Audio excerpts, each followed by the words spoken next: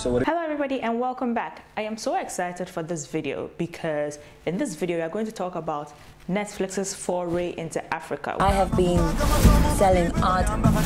Getting to the end of last year, Netflix announced that they had slated a couple of original stuff from Africa and Queen Sono was one of them and Queen Sono is scheduled to be released in February. So just February 28th, Netflix released Queen Sono and I'm here to give my review about it. Before we start, Queen Sono is six episodes. So if you have time from like 8 a.m. to 12 noon, you are good to go. By the time 12 noon hits, you are done with the first season of Queen Sono.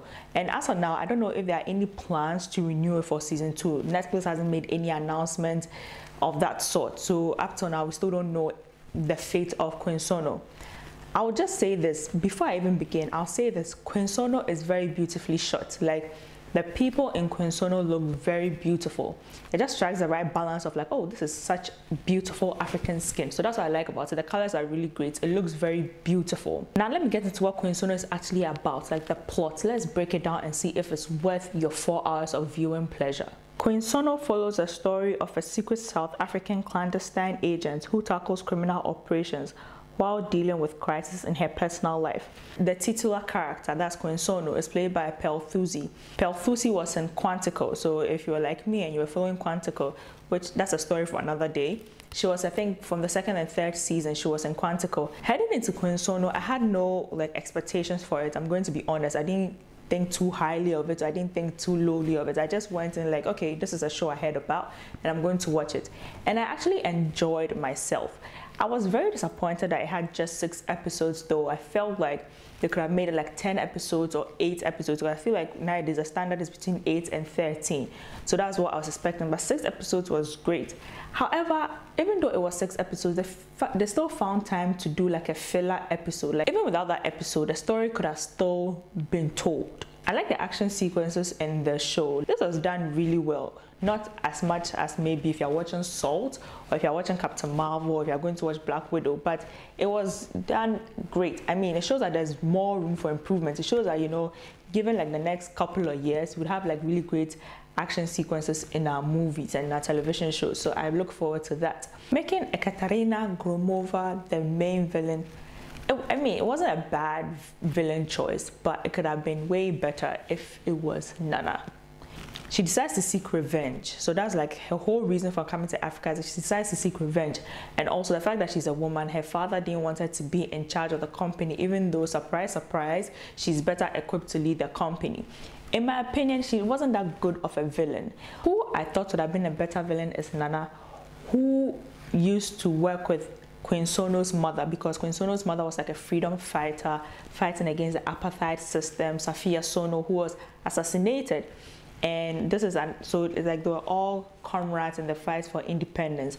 And Nana was like her close friend. And of course, the story, we realize that Nana has presidential aspirations and so it seems like she'll do she's a sort of person that will like be behind the scenes but will do everything to become a president, you know. And I felt like that was like a story or that was like a villain worth exploring. You know, the villain that comes out, she's the nice person. She's the, oh, we are here for you, you know, South Africans, comrades. I felt like she should have been like the main villain. And then at the end of the season, we have seen like she had a huge mastermind. Interesting thing they they played with was terrorist organizations in Africa. So you know Boko Haram, Al Shabaab, and then there's this new terror group called Watu Wema, which is led by Shandu, who I said was part of the secret organization but got disillusioned. And right now he's like, the government and all these people are against us, but follow us because we will liberate you.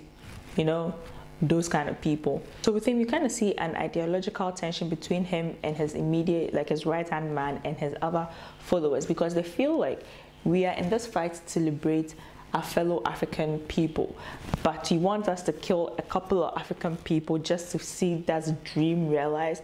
And you realize that sometimes people do a lot of things for the greater good. It's like, would you kill one person to save a thousand, or you save one person and let a thousand die? I know that's not like a great, great analogy, but that's kind of what it feels like, you know.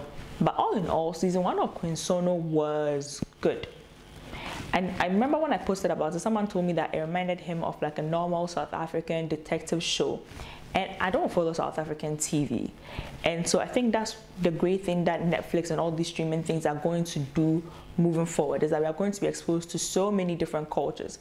Because of telenovelas and African things, people know a lot about like Mexican soaps, Indian soaps, Filipino soaps, and all those things. And I feel like now Netflix, you're going to go wider into different cultures, you know. So now I, I now know how maybe a typical South African detective show looks like. I'll be looking forward to seeing different stuff from that. Maybe we'd get something from Nigeria because we've just seen that Netflix has announced their Nigerian office. So I'm sure we are going to get an original from Nigeria very soon. Hopefully we get one in Ghana, but for me now it's just exciting to see like the possibilities and i think that's what queen sono represents above all else Queen Sono represents the possibilities of telling an African story by an African for Africans. So that's all I got from Queen Sono. I'm not I'm not going to like drag it, drag it, because I mean, honestly, if you, if you don't have expectations for things, you don't you're not disappointed. That's my person. That moving forward, that's my personal philosophy in life. The one thing I noticed about Queen Sono though is that there was little to no promotion for it and I don't know if it's because of the people in my social circles, but I do follow a lot of like movie, TV review stuff, and it feels like for Queen Sono there was zero like buzz about it which maybe netflix was doing like its own buzz somewhere which is and if i didn't see that that's also weird because i know for a lot of netflix shows netflix like does a lot of marketing.